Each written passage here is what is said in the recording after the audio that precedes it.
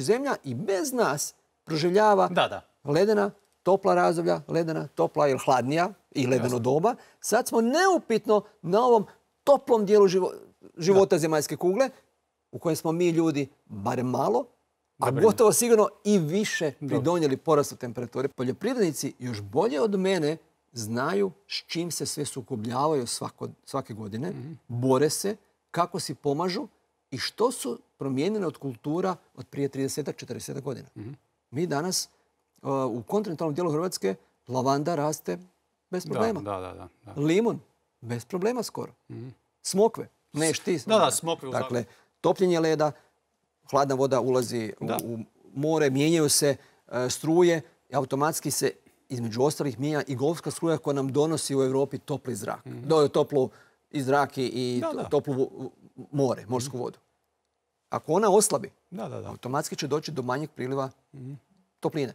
Što znači prestanak ovakvog zagrijavanja, bar što se tiče Europe.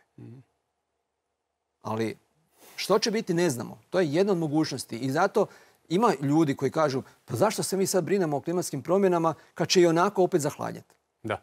Da li kada? Kako ćemo mi proživjeti, pod kojim uvjetima, okolnostima do tog zahladnjenja i hoćemo li uopće? Hoće li poljoprivreda opstati u ovakvim uvjetima? Zemlja će nastaviti živjeti. Ja ne vjerujem da će se zemlja raspast. Mhm. Ali pitanje je hoće li naša civilizacija u ovakvom obliku kakav smo sada preživjeti.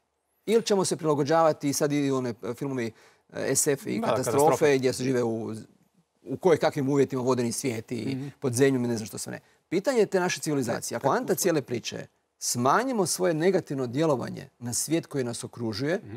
I nadajmo se da će priroda lakše doći ravnoteži. Znači, priroda teži ravnoteži. Ali u toj ravnoteži dolazi ekstremi u minus i u plus. I hoće li se doći do smirivanja? Pitanje.